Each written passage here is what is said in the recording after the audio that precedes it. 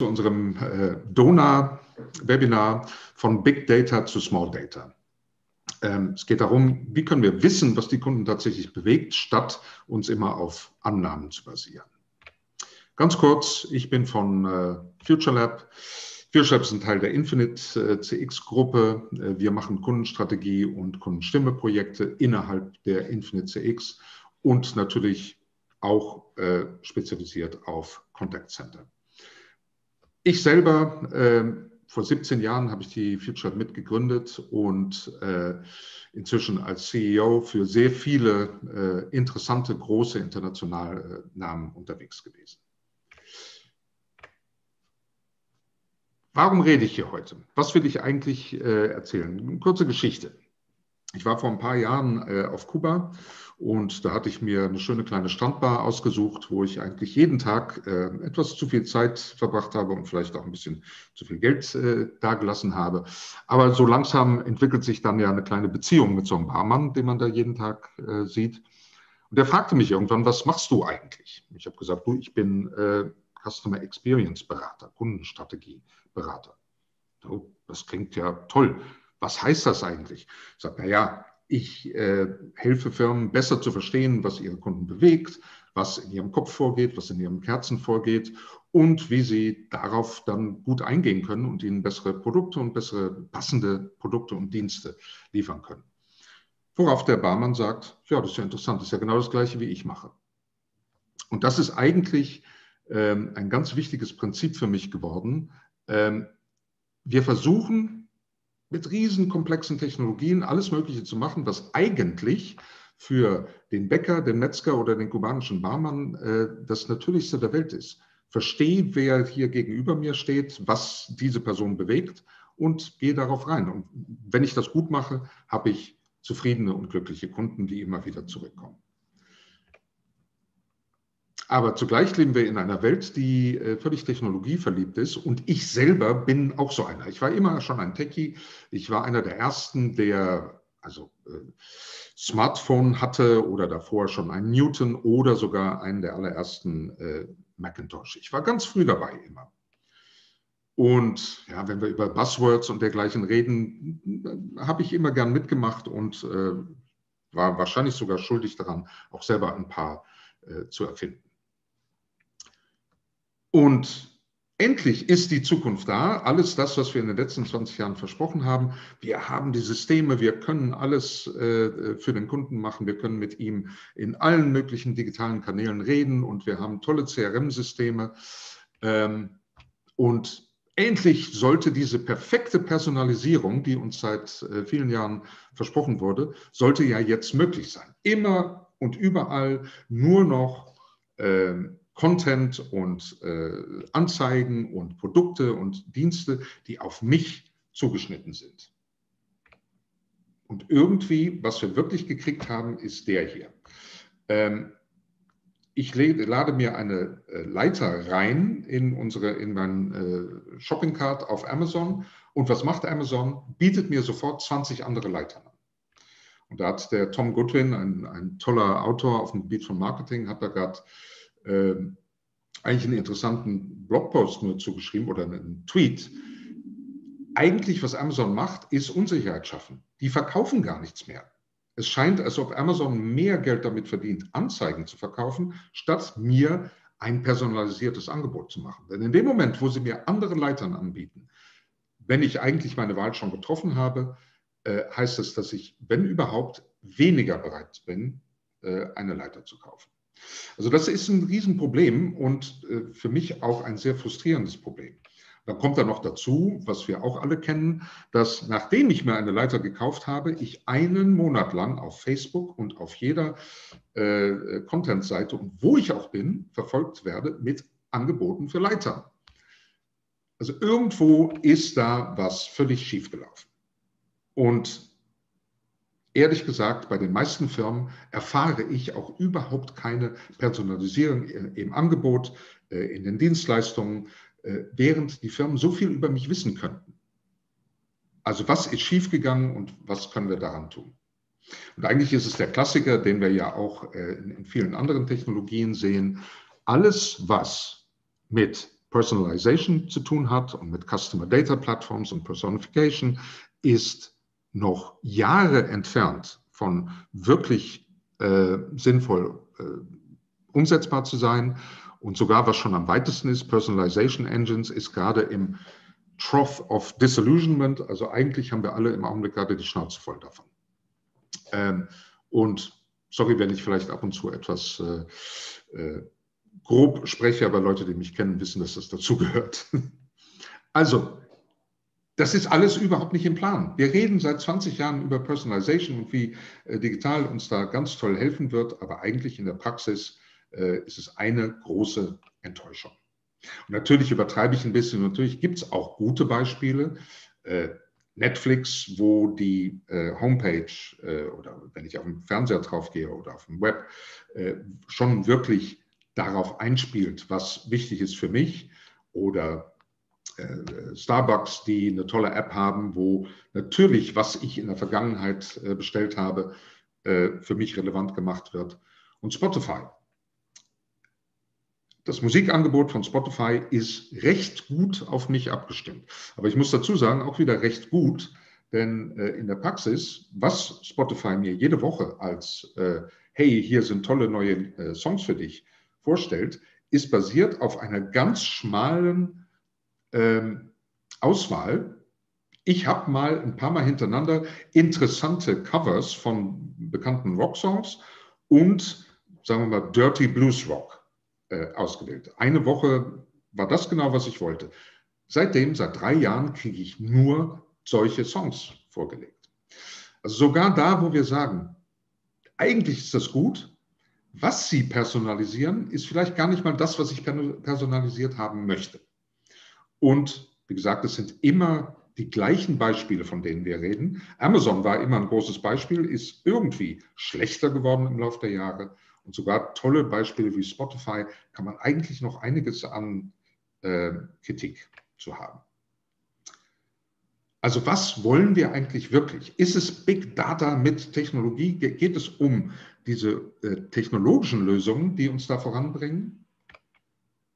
Oder geht es eigentlich im Endeffekt darum, one size does not fit all? Ne? Manche müssen von links gebügelt werden.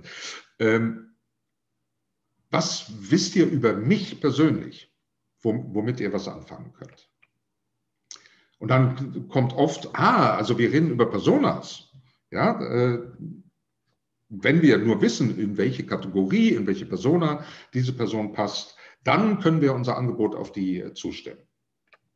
Da möchte ich doch ganz kurz äh, diese Geschichte, vielleicht haben Sie sie schon mal gesehen, aber äh, sie gefällt mir immer noch sehr gut, fragen, kennen Sie diesen Mann?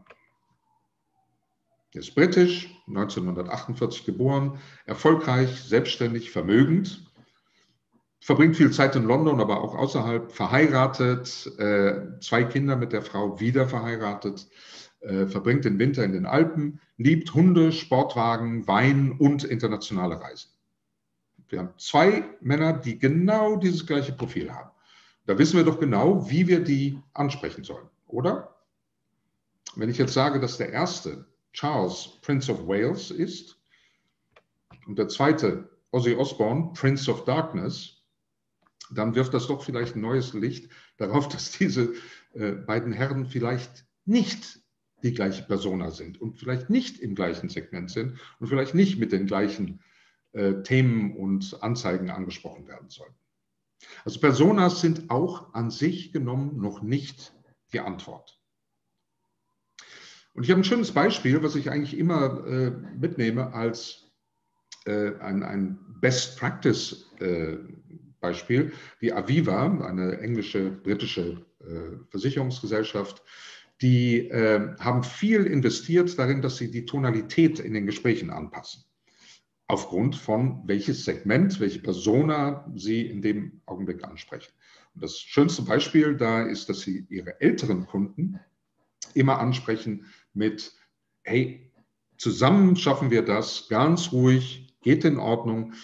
Ähm, um die Panik wegzunehmen. Während Sie einen jüngeren Kunden eher ansprechen, äh, hey, komm, äh, geht alles in Ordnung, äh, zack, zack.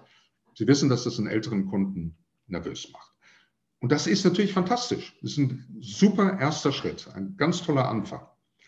Was aber, wenn diese ältere Person, mit der wir sprechen, diese Dame ist, äh, die auf Woodstock äh, gefeiert hat, die vielleicht nicht unbedingt, ähm, sagen wir mal, in diesem beruhigenden Ton angesprochen werden will. Oder dieser gute Mann, der auf seiner Harley unterwegs ist und ab und zu äh, vielleicht auch nochmal einen Hipster verkloppt, möchte vielleicht auch nicht so angesprochen werden. Also eigentlich, obwohl Aviva ein tolles Beispiel ist, lässt es auch noch vieles zu wünschen übrig. Also, wie lösen wir das? Was sage ich, wo wir hin sollen?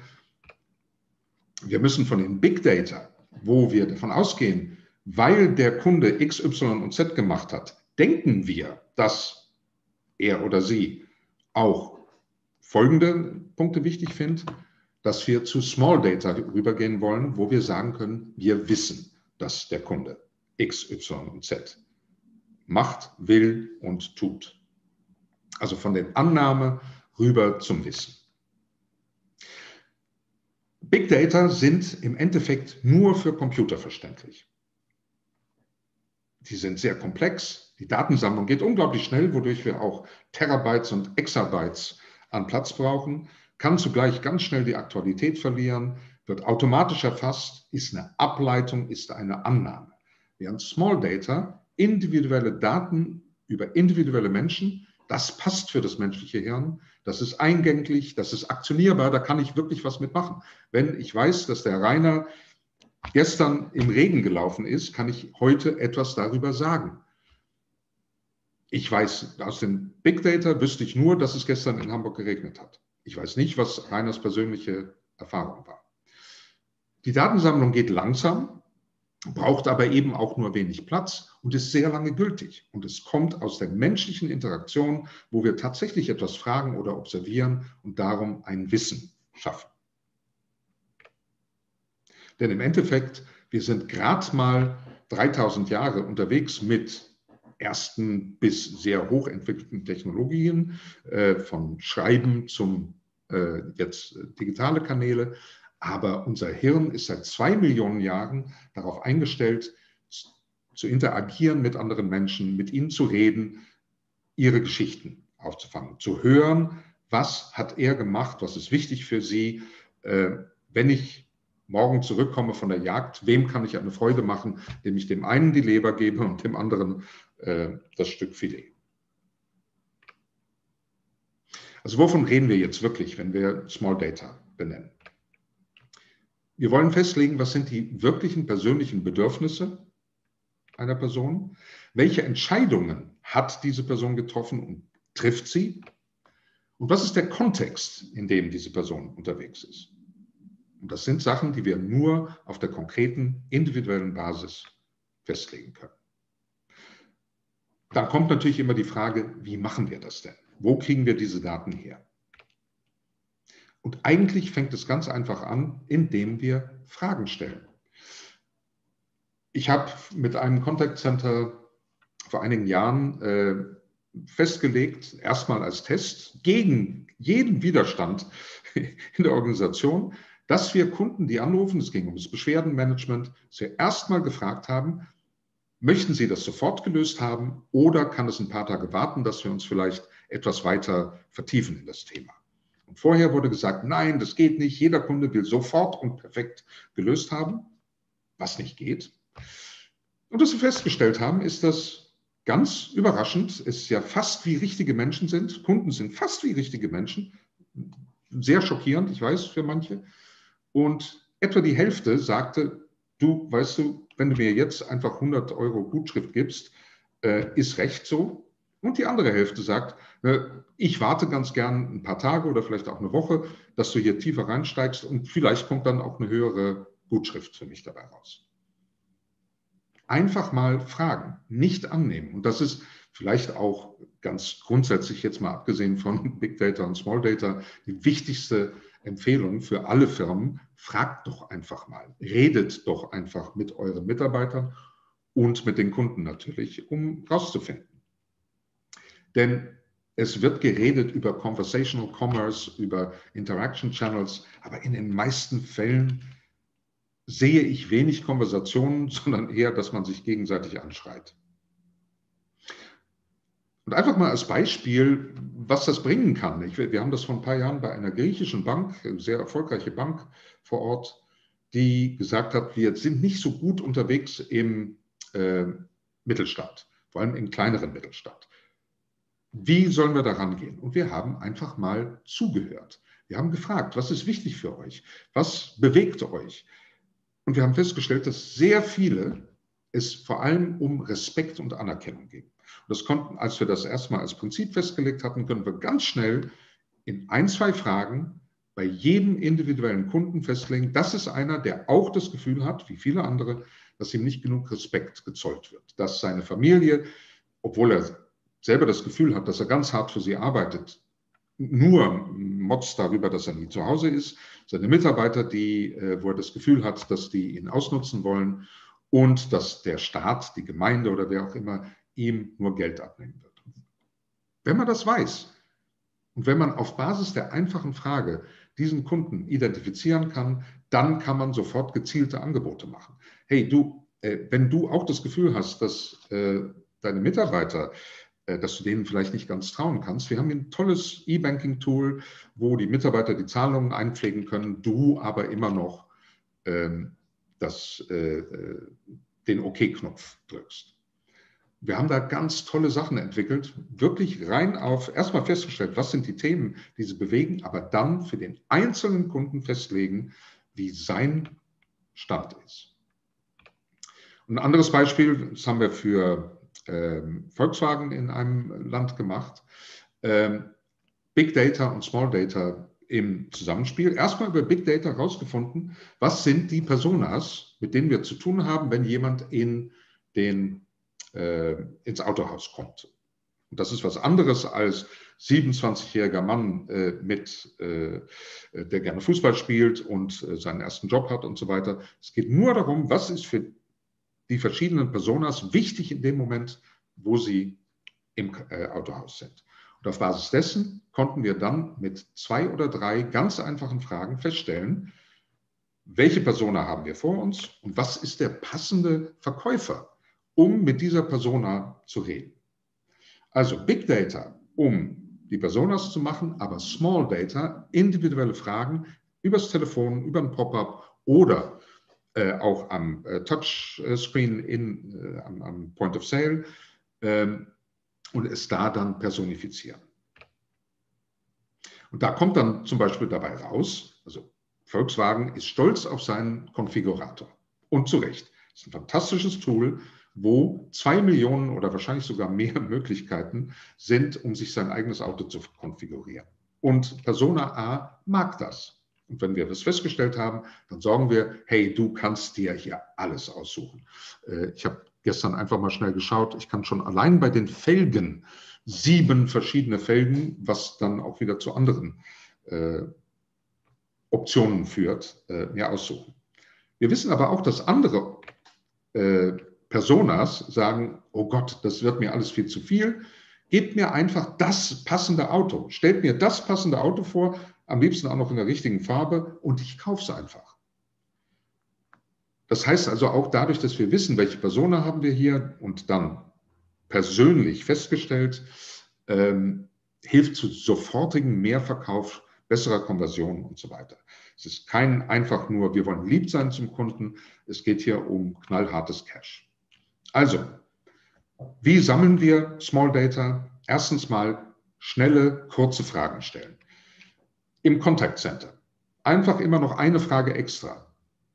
Wie gefällt Ihnen das? Äh, würden Sie, wie wollen Sie am liebsten angeschrieben werden? Äh, über E-Mail, über Chat, über äh, Post? Kleine Pop-ups, jedes Mal, dass jemand sich einloggt ins System, eine Frage stellen. Haben Sie lieber rot oder grün? Touchscreen-Geräte im Geschäft oder eben äh, bei der Anmeldung in der App. Natürlich haben wir auch Observationen, die Entscheidungen, die tatsächlich getroffen werden. Das ist jetzt, da kommt wirklich die Intersektion Big Data und Small Data. Was hat diese Person das letzte Mal gemacht? Aber auch, was können wir feststellen über familiäre, berufliche oder hobbymäßige Hintergründe und wie reagieren sie auf das, was mit ihnen geschieht? Ein gutes Angebot oder eine schlechte Serviceerfahrung. Und da können wir zum Beispiel ganz wichtig auch die Mitarbeiter mit reinnehmen. Weil die Mitarbeiter reden ja sowieso mit dem Kunden und können ganz einfach Fragen mit einweben. Oder nach einem Anruf oder einem Verkaufsbesuch äh, notieren, was haben wir erfahren? Ist das ein Mensch, der eher emotional oder eher rational reagiert? Und so eine Einschätzung der Personalität machen. Und ich weiß natürlich, das hat äh, ganz wichtige DSGVO-Impacts. Äh, Alles, was ich hier sage, ist im Prinzip möglich, aber muss natürlich gut äh, verabredet werden, gut in, in die verschiedenen Legals eingebaut werden. Aber es ist alles möglich. Reden Sie mit Ihrem Datenschutzbeauftragten oder reden Sie mit uns darüber. Und ganz wichtig ist wirklich, was die Frontlinie macht, was der Verkäufer im Autohaus oder der Agent macht und was er feststellt. Wenn ich einen Kunden habe, der immer zurückkommt und äh, zum Beispiel mit seinem Coupé angefahren kommt, dann weiß ich, okay, das ist ein junger Mann, der sportliche Autos liebt. Hoppla, zwei verschiedene Fotos. Nächstes Mal kommt er aber mit seiner schwangeren Frau und schaut sich einen Familienwagen an. Das weiß ich nicht aus automatisierten Daten. Das ist etwas Persönliches. Ich bleibe den armen Menschen immer weiter verfolgen mit Coupé- und Sportwagenangeboten, während im Augenblick, wie mein Verkäufer weiß, der Familienwagen relevant ist. Und natürlich, wenn wir schon über DSGVO reden und so weiter, äh, es ist natürlich auch immer wichtig, dass wir den Unheimlichkeitsfaktor mit reinnehmen schon ein älteres Beispiel, was, was Sie wahrscheinlich auch kennen, wo Target mal, äh, die amerikanische Supermarktkette, mal voll daneben gehauen hat, weil sie über ihre Big Data feststellen konnten, wann eine Kundin schwanger war. Wenn sie nämlich, sie haben festgestellt, so drei Monate oder sechs Monate bevor die Windeln gekauft wurden, wurden immer bestimmte Hautmittel und äh, bestimmte Vitamine gekauft. Also haben sie angefangen, Damen, die diese Mittel gekauft haben, anzuschreiben. Jetzt, wo sie äh, schwanger sind, äh, können wir ja schon mal reden über, wie es weitergeht. Leider haben sie dabei auch ähm, junge Mädchen angeschrieben, wo die Eltern noch nicht wussten, dass es eine Schwangerschaft gab. Riesenfehler, äh, äh, äh Riesenaufregung in Amerika. Und was jetzt noch kommt, Amazon hat das, das Patent schon vor neun Jahren genommen, aber anscheinend geht es jetzt langsam äh, Richtung Start, das Anticipatory Shipping. Wir schicken das Produkt schon los, bevor du es gekauft hast. Und das ist natürlich äh, für viele Leute geht es da so viel zu weit. Also da müssen wir immer aufpassen. Das ist der letzte Schritt, den ich hier reinbringen will. Wir müssen die Personalisierung personalisieren. Weil es gibt nun mal verschiedene Bereitschaften oder verschiedene Bedürfnisse, wenn es darum geht. Manche Leute sind bereit, ihre DNA-Daten zur Verfügung zu stellen, wenn wir ihnen im Tausch bessere Diäten äh, geben können oder wenn wir äh, bessere Farbkombinationen in der Kleidung geben. Manche geben alle Daten frei. Ich selber zum Beispiel wäre äh, sofort bereit, dem Supermarkt zu sagen, bitte analysiert all meine Ankäufe, damit ihr mir bessere personalisierte Angebote machen könnt. Aber es gibt auch Leute, die sind noch nicht mal bereit, ihr Gender äh, freizugeben. Entweder weil sie nicht glauben an klassische Gender-Konzepte oder weil sie einfach nichts über sich selber freigeben wollen. Alles wunderbar. Wir müssen halt die Personalisierung personalisieren. Was ist wichtig für diese Person? Das, äh, wie reagieren die auf Tonalität, Emotionalität, Rationalität? Wie bereit sind sie, ihre ähm, Daten zu teilen? Wie empfindlich sind sie zu diesem Unheimlichkeitsfaktor? Was sind ihre Erwartungen über die Personalisierung? Und natürlich, in welchem Produktkontext sind wir unterwegs? Für ein Auto sind wir natürlich viel mehr bereit, äh, Daten zu teilen und erwarten wir auch viel mehr Personalisierung, als wenn es um äh, ein Waschmittel geht. Aber sogar die Rolle, in der ich mich befinde, bin ich Stefan Kolle der Geschäftsmann oder Stefan Kolle der Ehemann oder Stefan Kolle der Vater. Ähm, das hat alles spielt mit. Das, da liegt eine unglaubliche Chance für uns alle, äh, indem wir verstehen, was ist wichtig für diese Person, wie personalisieren wir die Personalisierung, können wir fantastische äh, Chancen aufbauen. Also, Zusammenfassend, keine Angst, wir sind fast da. Unendliche Auswahl, wie das im Augenblick angeboten wird auf Amazon oder auch zum Beispiel, wenn ich bei Sephora oder Isipari reingehe, ist nicht gleich Personalisierung. Das wird immer noch von vielen Marketeers äh, falsch verstanden, wobei eben tatsächlich die Frage ist bei Amazon und auch bei Sephora, äh, große Kette von äh, Make-up, ob es nicht sogar im Businessmodell ist, um Verwirrung zu schaffen. Denn Sephora verkauft gewissen ihrer Kunden 200 verschiedene äh, Lippenstifte, weil sie sie unsicher gemacht haben, welcher der richtige ist. Aber ein Regime, wo wir sagen, für Ihr Alter, Ihre Haut und Ihr Lebensstil passend brauchen Sie diese Creme, diesen Lippenstift und diese Haarkolorierung und fertig. Es sind viele Frauen, die da verzweifelt drauf warten. Das ist Personalisierung.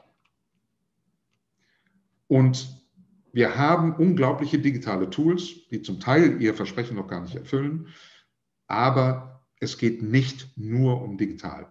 Wir müssen menschlich bleiben und wir müssen den Menschen immer noch in den Mittelpunkt stellen und schauen, wie wir das Digitale als unterstützend nutzen können, nicht als führend. Denn nur wenn Mensch und Maschine den Tango tanzen, dann können wir wirklich das Versprechen, was uns irgendwann mal ganz am Anfang gemacht wurde, dann können wir das erfüllen. Also, ganz zum Schluss, Big Data ist natürlich nicht schlecht an sich, aber wir haben zu tun mit überzogenen Versprechen und Erwartungen und dem Risiko, dass es unheimlich wird, während Small Data Sie jetzt einsetzen können. Bitte schön, viele Ihrer Mitarbeiter machen das ja. Ein guter Verkäufer setzt ja die Small Data, die er hat, das, die Kenntnis über sein Gegenüber oder die kleinen ähm, Hints, die er kriegt im Gespräch, die setzt er ja ein. Fragen Sie Ihre Kunden. Fragen Sie auch Ihre Mitarbeiter, was die davon wissen und erstellen Sie Personalisierungsprofile, also wo wir festlegen können, das ist, was diese Person erwartet. So können wir, ohne unheimlich zu werden, da wirklich etwas Tolles für die Person machen. Ähm, dazu natürlich DSGVO mit reinnehmen, aber es geht viel mehr, als Sie denken, wenn man das nur richtig macht. Ähm, und für die Umsetzung reden Sie mit uns. So, dann haben wir Fragen, Rainer. Ja, Stefan, äh, sicherlich äh, eine ganze Menge Fragen. Ich äh, kläre das hier aber jetzt